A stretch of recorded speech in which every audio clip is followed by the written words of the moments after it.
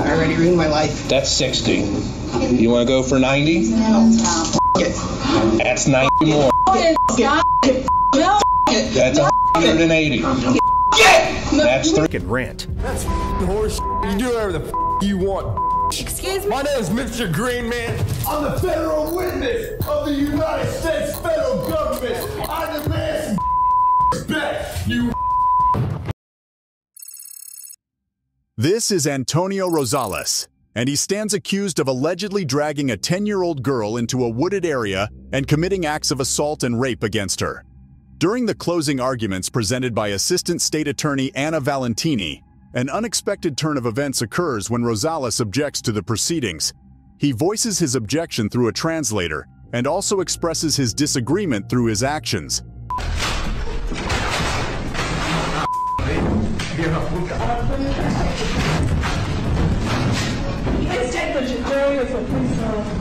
Upon being referred to as a child molester, Rosales becomes irritated and vents his anger by damaging the innocent computer monitor. The deputies present in the court intervene and physically restrain Rosales, removing him from the courtroom. Following the legal proceedings, the jury reaches a verdict, finding Rosales guilty on all charges. As a result, he is handed down three life sentences as his punishment. This is William Demopoulos, an 18-year-old who is on probation for committing acts of vandalism, using a motor vehicle without permission, and obstructing justice. The probation hearing starts off on a difficult note when Judge Chris Green asks William to give his phone to his probation officer. However, William refuses and is even willing to sacrifice his freedom in order to keep his cell phone.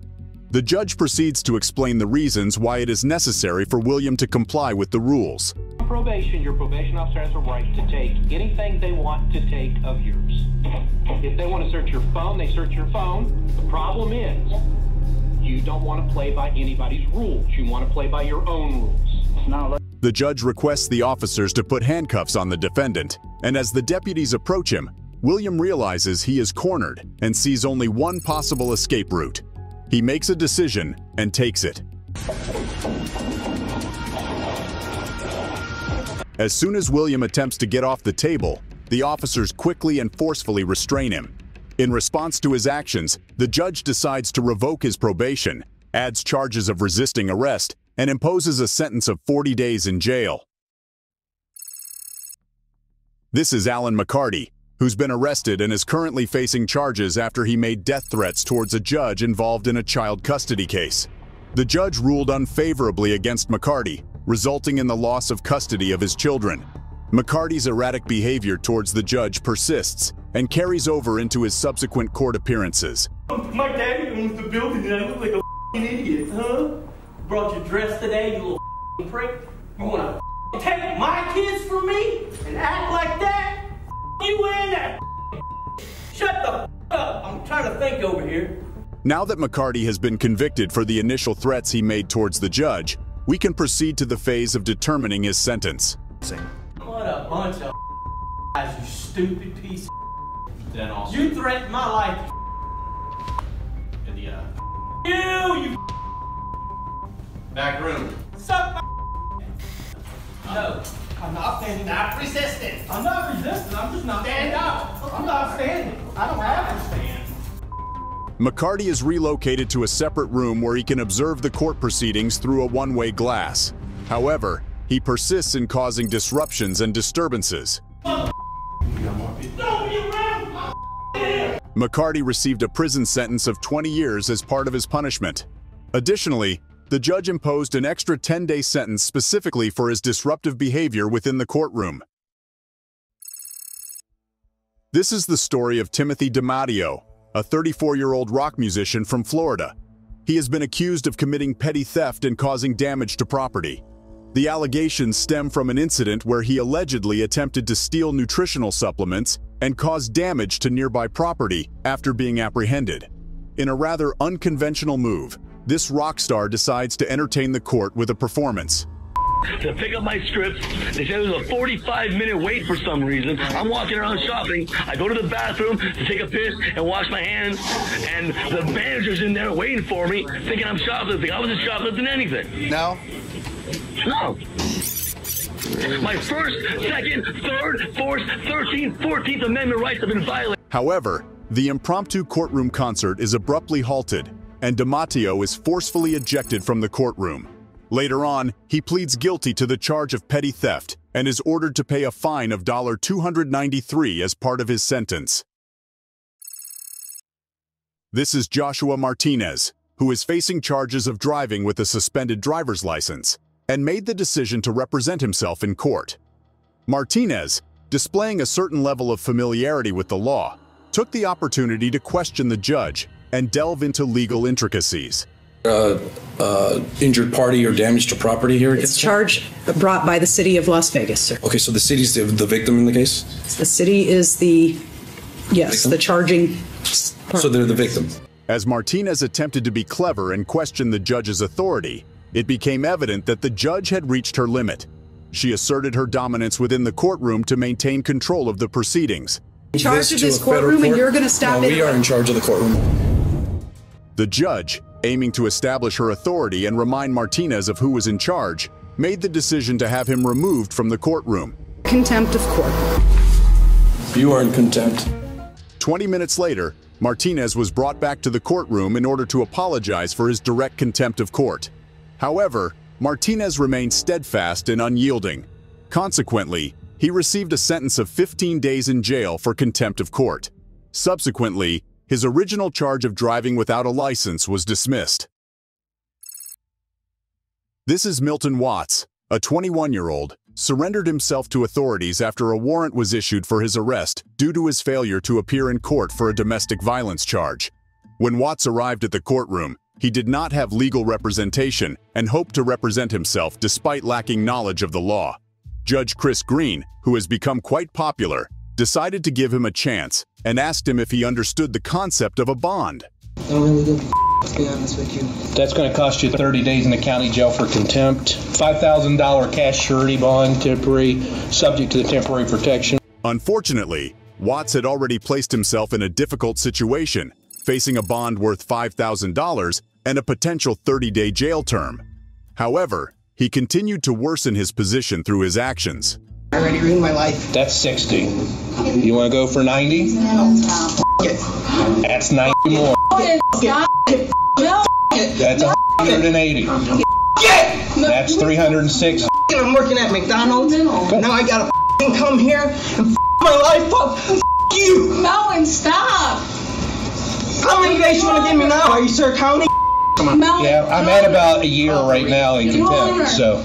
Despite Judge Green initially considering a 360-day sentence due to the incident's intensity, he ultimately settled on a 90-day jail sentence for Milton. This is Darrell Brooks, a convicted individual responsible for a tragic incident where he drove his SUV into a Christmas parade in Waukesha, Wisconsin, resulting in the deaths of six people and numerous injuries.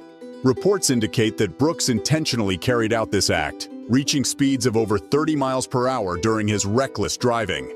through 68 different people. He kept going until he got to the end, and there was no more bodies to hit. It was intentional. Following his arrest and charges, Brooks made the decision to represent himself in court. You are allowed to represent yourself in this case, sir. You will not have attorneys assisting you. They are gone from this case. Do you understand that? I think I will probably be better served representing myself. Throughout the trial, Brooks repeatedly disrupted proceedings and had several outbursts, leading to his removal from the courtroom.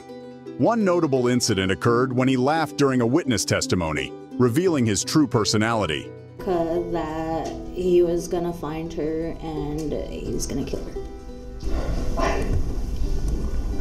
Returning to the courtroom, Brooks experienced another outburst, expressing his dissatisfaction with how the district attorney pronounced the word defendant.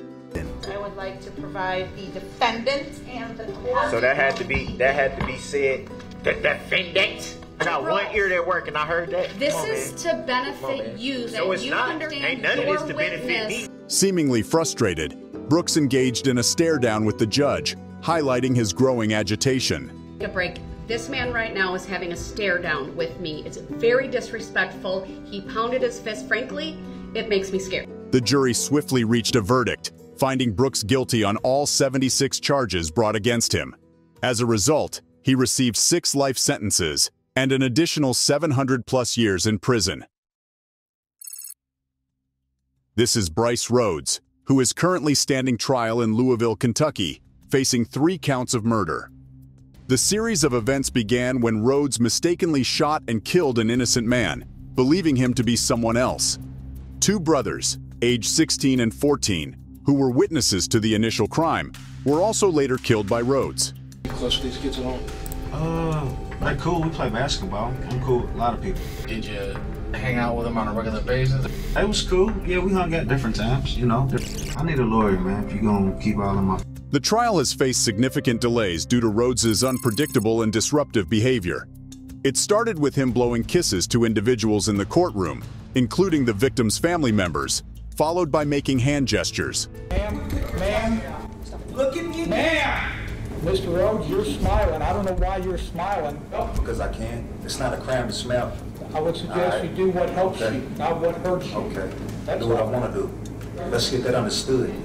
At one point, Rhodes even had to wear a spit mask after spitting on his own attorney. Cheap shot. You a coward. Nice cheap You a coward. During another court appearance, Rhodes made bizarre accusations directed at the judge. I don't know if y'all got some type of sexual relationship going on. Are you some type of racist? Which one is it? Or are you just wrong in everything that you've made a Huh? motion for? Are you a secret Ku Klux Klan member? Given Rhodes's uncontrollable behavior in the courtroom and his dismissal of several lawyers, the trial has been prolonged far beyond the initially anticipated timeline. It is evident that Rhodes will not be released back into society anytime soon. The trial is still ongoing. This is Jacob Larson, who is currently facing a personal protection violation hearing. He stands accused of sending unwanted advances to a former high school acquaintance on Facebook, despite a restraining order previously filed against him by the same person. You what? I told you to leave her alone. And apparently that didn't get through loud and clear. So today, you're going to jail for three days. And the next time you violate it, you're going to jail for... You, you and her are You know what? You got, a, you got a bad attitude. You had a bad attitude last time you were in court. Okay? You're going her are buddy buddy. Y'all get along. Y'all are 45 days county jail. Okay. 93 days in the county jail. You want to go for a year? Try it right The judge presiding over the case appears visibly irritated by the defendant's persistent defiance. Consequently, the judge orders Larson to be taken into custody and sent to jail. However, the situation doesn't end there. Larson adamantly refuses to be escorted out of the courtroom, prompting the judge to personally intervene in order to subdue him. As a result of his actions, Larson is ultimately sentenced to serve 93 days in the county jail. This is Mikael Hugenberg, a 34-year-old defendant who stands accused of assaulting a Campbell County deputy. As the jurors enter the court, Hugenberg, positioned at the back, promptly rises from his seat. Despite the officer's attempts to restrain him, he refuses to comply.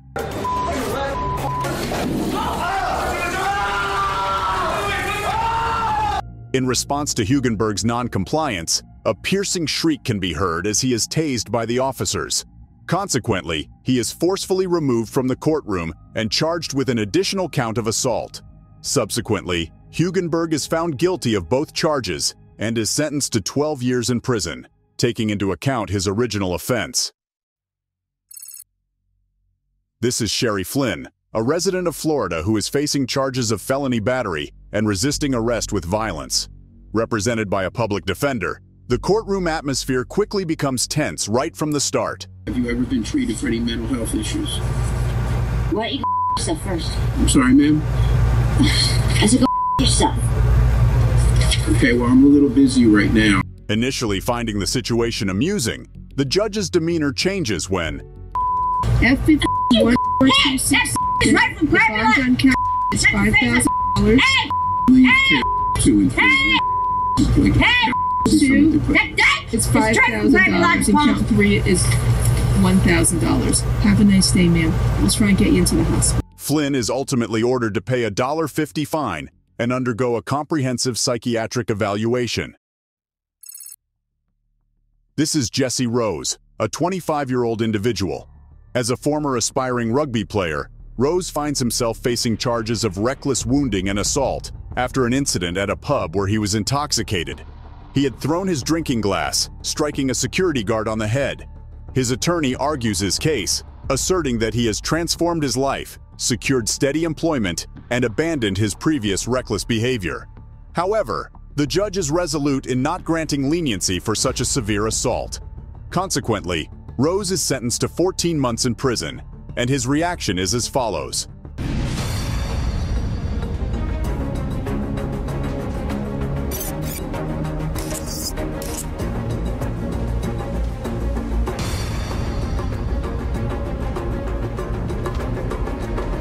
Expressing disgust at the received sentence, Rose unleashes his inner rugby player by forcefully kicking down the courtroom door.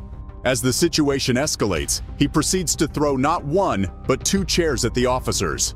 Additional law enforcement personnel enter the courtroom, effectively subduing him and escorting him out of the premises. As a consequence of the disturbance caused, an extra eight months are added to his initial 14-month sentence. This is Jeremy Christian, who was convicted of the murder of two individuals in Portland, Oregon. Christian's violent outburst occurred on a crowded train when he launched into a racist tirade directed at two young women. Bystanders attempted to intervene to halt his behavior.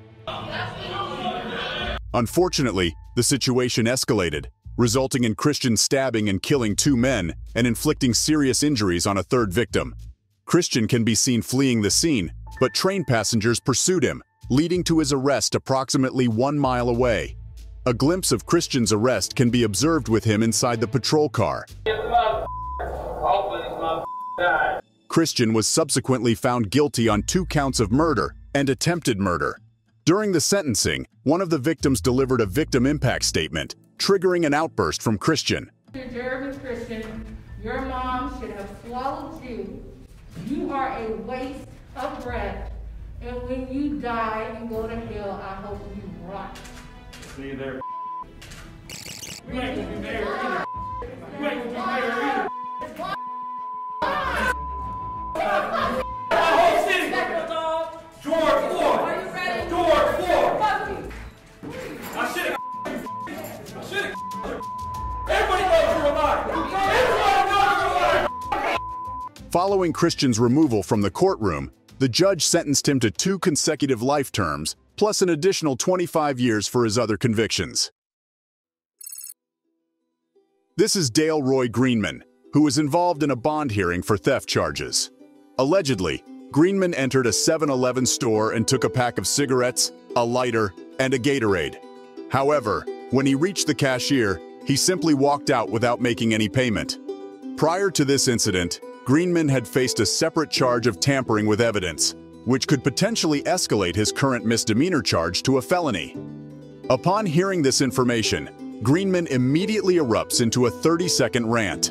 Horse, you do whatever the you want. Excuse me? My name is Mr. Greenman. I'm the federal witness of the United States federal government. I demand some respect, you Let's get a jail round with all y'all did you're Alright, he can he can be removed once y'all get him out. As a result, Greenman is expelled from the courtroom and taken into custody, while his bond is increased from 250 to $1,000. This is Sean Riker, who was found guilty of approximately 16 crimes, including reckless endangerment and sexual assault of a child. Having already served a 12-year sentence in a federal prison for detonating pipe bombs, Riker arrives at court fully restrained and wearing a spit mask. However, his restraints do not deter him as he immediately targets Judge Wayne Merrick. Idea? Huh? You got me looking like a clown? Stupid Paul. Riker is forcibly removed from the court by heavily armed officers and subsequently sentenced to an astonishing 200 years in prison. Despite attempting to appeal the sentence, his appeal is denied. This is Bass Webb, who is facing charges of two counts of attempted murder in Lexington, Kentucky. In the surveillance footage, you can see Webb attempting to run over two jail employees at a facility where he had recently served time. During his first court appearance, the judge considers recusing herself from the trial due to her personal acquaintance with the two employees. Whenever I try this case, or have any further proceedings, or I have to see you for one further session. However, before the judge can make her decision, Webb shocks the courtroom by spitting on her. The judge. The judge wipes off the spit and promptly removes Webb from the courtroom. It is revealed that Webb has a disturbing history, as he had previously been charged with the murder of two different girlfriends while in prison. He was convicted of killing the first girlfriend and is currently on trial for the second. During the trial, Webb showed no signs of remorse, and the jury found him guilty. Consequently, the judge sentenced him to life in prison for his crimes. Webb had even arrived in court with a tattoo on his head, listing the names of people he wished to kill, with three rats crossed out at the bottom. Now, we move to Wichita, Kansas, for the sentencing of Michael Gaines, who has been found guilty of battery against a police officer. The judge addresses Gaines regarding his actions. You deliberately were hawking up. I didn't hawk up no saliva, okay? That's and you're gonna believe those lies. That's what I'm talking about. I didn't hawk up no saliva. You gonna believe a lie because they wearing uniform. In an attempt to restore order, the judge intervenes. Evelyn, you ain't gotta scream at me. You. Oh. You gonna raise your voice at me? Oh my God. Raise your voice to me, I raise my voice to you. You just in a row. After enduring a series of insults, Michael Gaines is gently escorted out of the courtroom, and the judge pronounces a sentence of 13 years. If you enjoyed the video, make sure to give it a thumbs up. Watch this next.